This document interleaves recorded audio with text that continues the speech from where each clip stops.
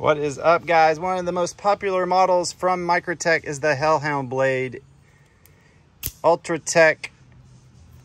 Right here, two-tone black. Even have Damascus. And then the bronze is back. We haven't seen these in a while, guys. These are awesome. Uh, everybody asked for the Hellhound. Been asking for it for years. They started doing it on some other stuff, but they haven't done many on the Ultratech.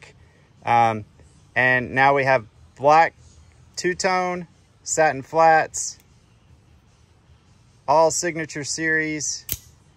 So you get a signature series box and signature on the clip, Damascus and bronze. We have all three models right now in stock, eknives.com. Have a nice day.